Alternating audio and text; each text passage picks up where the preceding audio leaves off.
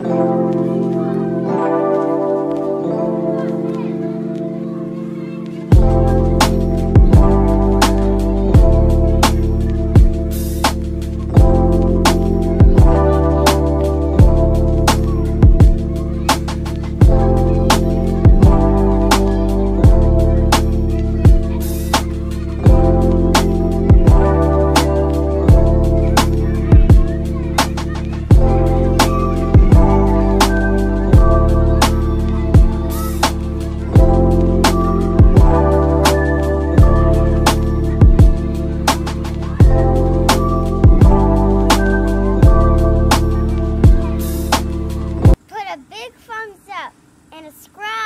Don't forget, hit that bell.